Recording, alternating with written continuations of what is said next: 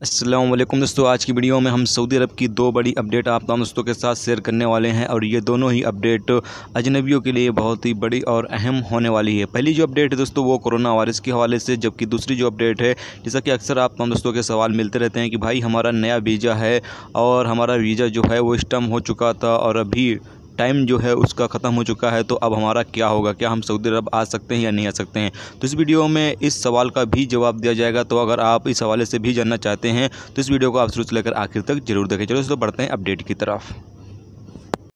दोस्तों, पहली खबर यह है कि सऊदी अरब में पिछले 24 घंटे में एक हज़ार दो सौ सत्तासी नए कोरोना वायरस के मरीज़ रिकॉर्ड पे आए हैं, जबकि टोटल तीन लाख तीन हज़ार नौ सौ तिहत्तर मरीज़ अब तक सऊदी अरब में रिकॉर्ड किया जा चुके हैं। पिछले 24 घंटे में बयालीस नए लोगों की मौत भी हुई है, जबकि टोटल मरने वालों की तादाद तीन हज़ार पाँच सौ अड़तालीस हो चुकी है। पिछले चौबीस घंटे में एक हज़ार तीन सौ पचासी कोरोना वायरस के मरीज़ ठीक हुए हैं, जबकि टोटल दो लोग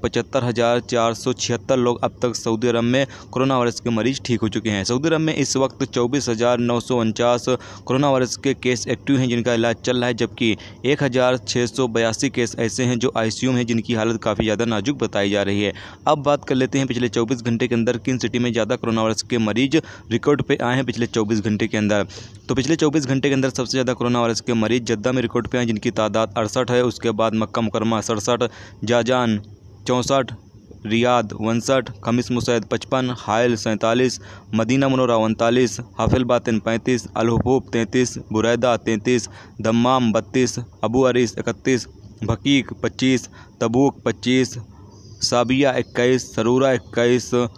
अफीफ इक्कीस, अलजुबैल बीस, जहरान बीस, अलमुबरज अलमुबरज अट्ठारह और बाकी सिटी में यानी कि सत्रह, सोलह, पंद्रह, तेरह, बारह, दस, नौ सात छः चार तीन दो एक एक मरीज़ रिकॉर्ड पर आए हैं।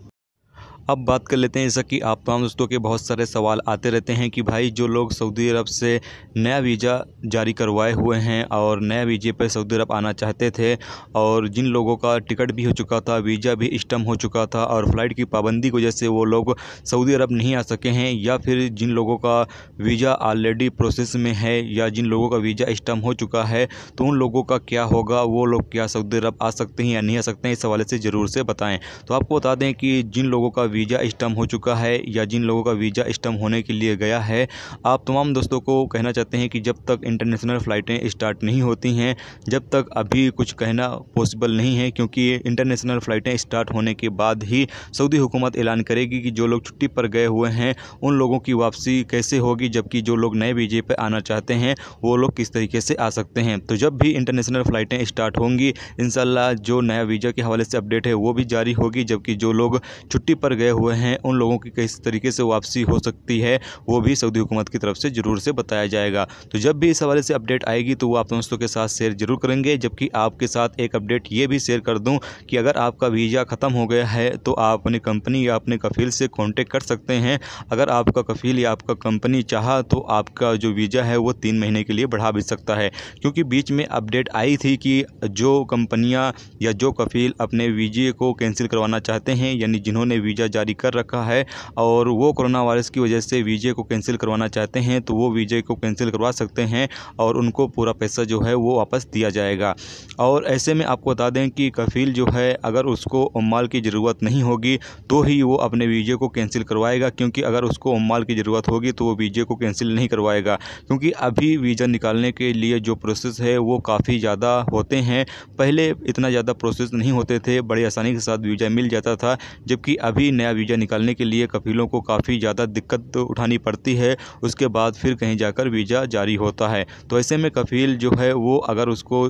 ज़रूरत है उम्माल की तो वो फिर वीज़ा जो है वो कैंसिल नहीं करवाएगा। तो ऐसे में अगर आपने कफ़ील या कंपनी से कांटेक्ट करेंगे तो ऐसे में आपका वीज़ा जो है वो बढ़ाया भी जा सकता है तीन महीने के लिए। क्योंकि अपडेट में ये भी कहा गया था कि अगर कफ़ील या कंपनी अपने वीज़े को बढ़वाना चाहेंगे तो वो भी हो सकता है, यानी तीन महीने के लिए वीज़ा जो है वो बढ़ाया भी जा सकता है। तो ऐसे में आप लोग कंपनी या कफील से कॉन्टेक्ट करके बात करके देख सकते हैं इन हो सकता है आपका वीज़ा जो है वो तीन महीने के लिए बढ़ा भी दिया जाए। तो ये कुछ अपडेट थी जो आप दोस्तों के साथ साथ शेयर की गई। तो उम्मीद करता हूँ दोस्तों, ये वीडियो आपको पसंद आई होगी। पसंद आई है लाइक और शेयर ज़रूर करें। चैनल पर नए हो चैनल को सब्सक्राइब करके साथ में बिल्कुल आइकन को ज़रूर प्रेस कर दें, जिससे जब भी मैं कोई न्यू वीडियो डालूँ उसका नोटिफिकेशन आप तमाम दोस्तों को मिलता रहेगा। चलिए दोस्तों, मिलते हैं नेक्स्ट वीडियो में नेक्स्ट टॉपिक के साथ। रखें अपना ख्याल होकर खुदा हाफिज़।